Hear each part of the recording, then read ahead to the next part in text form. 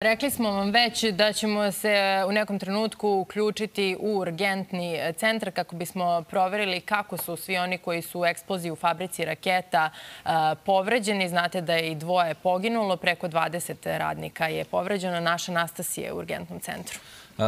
Nastasija, dobro jutro još jednom. Šta kažu u urgentnom centru? Kako je stanje povređenih radnika?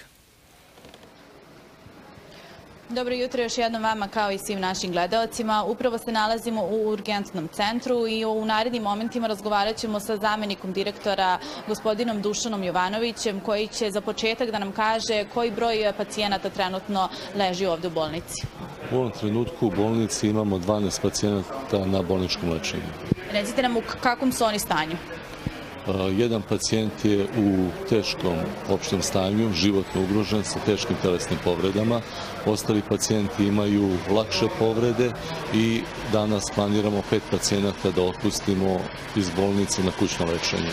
A kada pričamo o ranama, koje su to zapravo rane koje su zadobijene tokom tih eksplozija?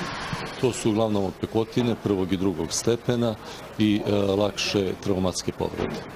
Ko je najmlađi generalno, ko se, to jest od pacijenata ko se nalazi trenutno ovde? U urgentnom centru je pregledano 22 pacijenta. Godišta su različita u rasponu od 1961. do 1999. godišta. Hvala vam doktore najlepše na izvojenom vremenu. Anđela Mileše, e, eto imali smo prilike da čujemo iz prve ruke kakva je trenutna situacija kada je reč o žrtvama ili pancijentima koji su zadobili povrede.